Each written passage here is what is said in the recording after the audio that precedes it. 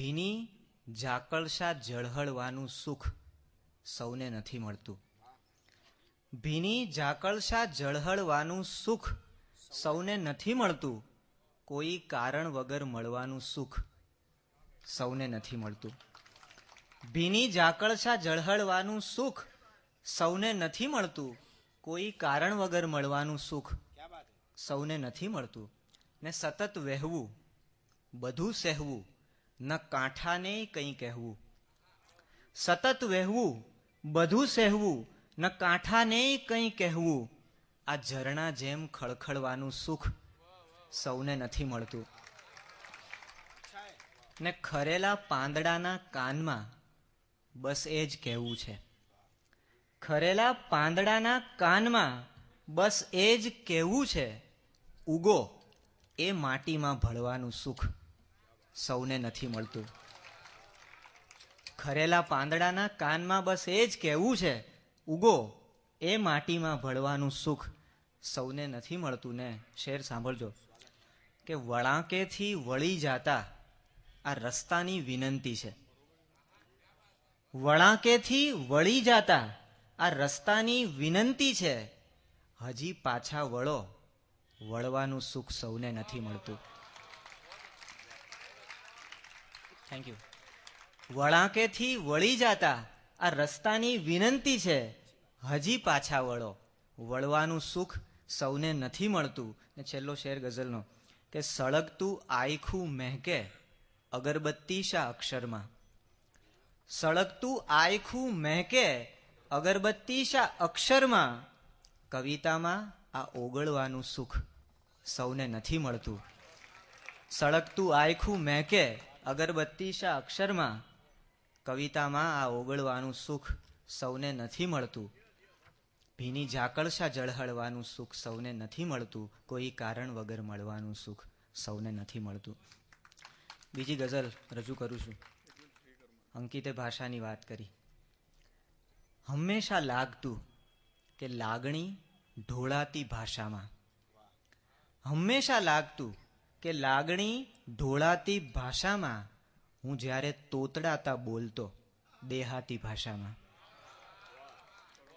હંમેશા લાગતું કે લાગણી ઢોળાતી ભાષામાં હું જ્યારે તોતડાતા બોલતો દેહાતી ભાષામાં ને રહ્યો જો મૌન, બાવન વર્ણની વર્ણાગી ઝાંખી થઈ.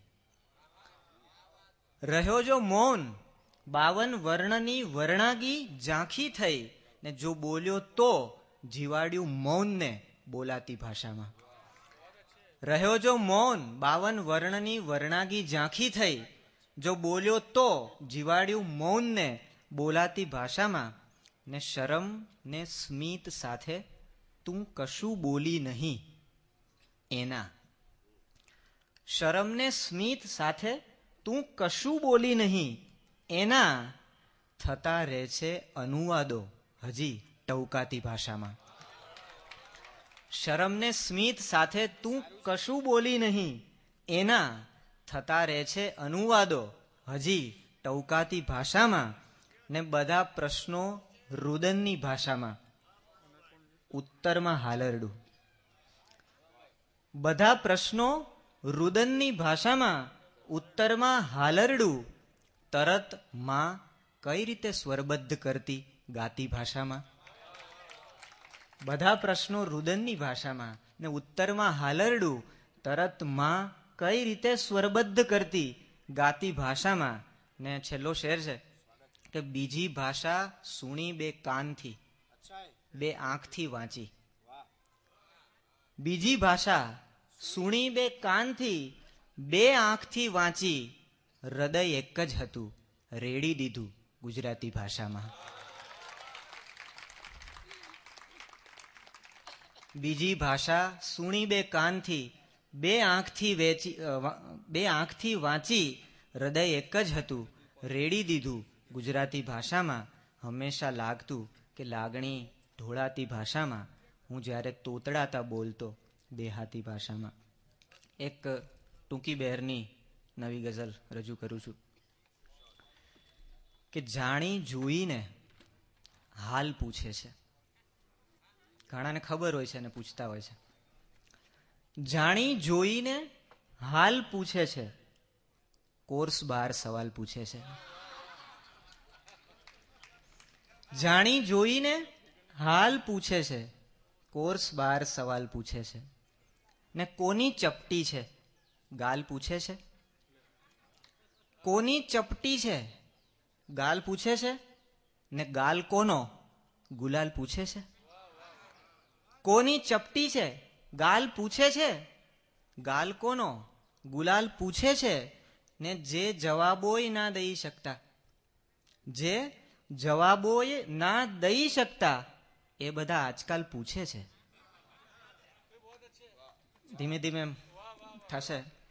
જે જવાબોય ના દઈ શકતા એ બધા આજકાલ પૂછે છે ને પીઠ પાછળથી ઘા કર્યો કોણે? પીઠ પાછળથી ઘા કર્યો કોણે? છાતી પરની આ ઢાલ પૂછે છે. પીઠ પાછળથી ઘા કર્યો કોણે? છાતી પરની આ ઢાલ પૂછે છે ને અંકિત, શેર સાંભળ દોસ્ત, કે આંસુ લૂછવા જ્યાં હાથમાં લઉં છું. આંસુ લૂછવા જ્યાં હાથમાં લઉં છું, ક્યાં જગા છે? રૂમાલ પૂછે છે. આંસુ લૂછવા જ્યાં હાથમાં લઉં છું ક્યાં જગા છે? રૂમાલ પૂછે છે ને છેલ્લો શેર છે કે કોઈને ક્યાં કશું ખરીદવું છે? કોઈને ક્યાં કશું ખરીદવું છે? માત્ર સૌ ભાવતાલ પૂછે છે. કોઈને ક્યાં કશું ખરીદવું છે? માત્ર સૌ ભાવતાલ પૂછે છે. જાણી જોઈને હાલ પૂછે છે. કોર્સ બહાર સવાલ પૂછે છે. અને એક છેલ્લે મુસલસલ ગઝલ એક જ પ્રદીપ પર ભાવ પર લખાયેલી. એક ભિખારીની ગઝલ છે. કે શેરીના છેલ્લા ઘરે પણ ઉચ્ચર્યું કાંઈ નથી. આપણે ત્યાં આવી ટેવ હોય છે. બાળકોને પડી જાય છે આપોઆપ કે આ લોકો આવે એટલે કાંઈ નથી એમ કહેવાનું. શેરીના છેલ્લા ઘરે પણ ઉચ્ચર્યું કાંઈ નથી. ને સાવ ખાલી ખમ છે, જોડી આ. ભર્યું કાંઈ નથી. ને શેર છે કે એ ન ઉતર્યું હોત તો રોજું ગણી લેતે ખુદા. હરેશભાઈ, સાંભળો શેર. કે એ ન ઉતર્યું હોત તો રોજું ગણી લેતે ખુદા, થૂંકની સિવાય કંઠે ઉતર્યું કાંઈ નથી. એ ન ઉતર્યું હોત તો રોજું ગણી લેતે ખુદા. થૂંકની સિવાય કંઠે ઉતર્યું કાંઈ નથી ને તાવડીમાં હૂંફ ક્યાં? ગરવામાં ગરવાઈ ક્યાં? તાવડીમાં હૂંફ ક્યાં? ગરવામાં ગરવાઈ ક્યાં? ઘરધણી સાચું કહો છો કે નર્યું કાંઈ નથી. તાવડીમાં હૂંફ ક્યાં? ગરવામાં ગરવાઈ ક્યાં?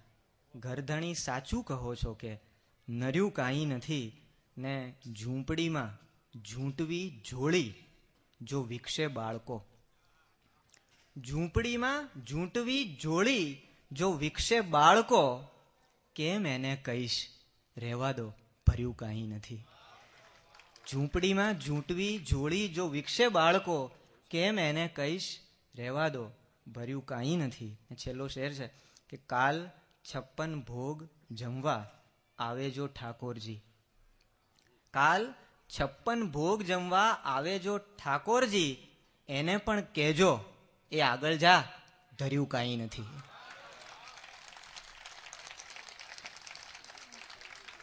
કાલ થેન્ક યુ કાલ છપ્પન ભોગ જમવા આવે જો ઠાકોરજી, એને પણ કહેજો, એ આગળ જા, ધર્યું કાંઈ નથી. શેરીના છેલ્લા ઘરે પણ ઉચ્ચર્યું કાંઈ નથી. ને સાવ ખાલી ખમ છે જોડિયા ભર્યું કાંઈ નથી. થેન્ક યુ વેરી મચ ગઝલ મેં ભલે વાંચી કે ભર્યું કાંઈ નથી, પણ તમે ઘણું બધું ભરી રહ્યા છો, એનો બહુ જ આનંદ છે.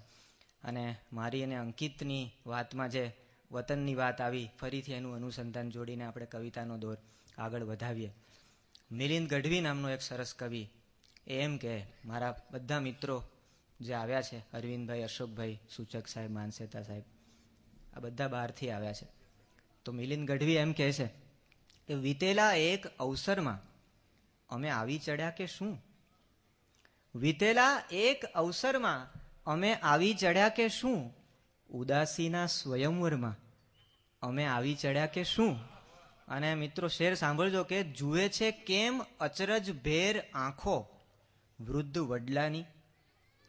જુએ છે કેમ અચરજ ભેર આંખો વૃદ્ધ વડલાની ફરીથી એ જ પાદરમાં. અમે આવી ચડ્યા કે શું? તો આ એ જ પાદરમાં આપણે કવિતાની વાત કરીએ છીએ ત્યારે. કવિતા શું છે?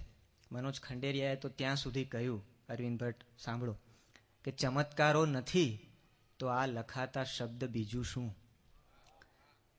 ચમત્કારો નથી, તો આ લખાતા શબ્દ બીજું શું? સતત કાગળ ઉપર કંકુ ખરે છે આંગળીમાંથી. અને આ કાગળ ઉપર કંકુ ગમે ત્યાં ખરી શકે અને કવિતાની રંગોળી કોઈ પણ સ્થળે પૂરાઈ શકે. રવિન્દ્રનાથ ટાગોરનું એકવાર ચિત્રનું પ્રદર્શન હતું એટલે નંદલાલ બોસ અને ક્ષિતિ મોહન સેનની સાથે ગુરુવર ટ્રેનમાં જઈ રહ્યા હતા અને અચાનક કંઈક ગીત ગાવા લાગે છે. બંને મિત્રો સમજી ગયા કે કવિને કાવ્ય સ્ફૂર્ણા થઈ છે એટલે એને એકાંત મળે એટલે બંને મિત્રો વારા પરથી બાથરૂમ સાઈડ જતા રહે છે. થોડી વાર પછી પાછા આવે છે. ટાગોર હસતા ખસતા કહે છે કે, મિત્રો, તમને ખબર છે કે તમે ગયા પછી મને કાવ્ય પ્રસૂતિ થઈ. એટલે પેલા બંને મિત્રો કહે છે, હા, ગુરુજી, અમે જાણતા જ હતા, પણ પ્રસૂતિ સમયે પુરુષોનો પ્રવેશ નિષેધ હોય છે એટલે જ અમે બહાર જતા રહેલા. એટલે આ કોઈ પણ સ્થળે અને કવિતાનો જન્મ થતો હોય છે. પછી એ સાવરકુંડલામાં પણ જન્મી શકે અને છેક અમેરિકામાં પણ જન્મી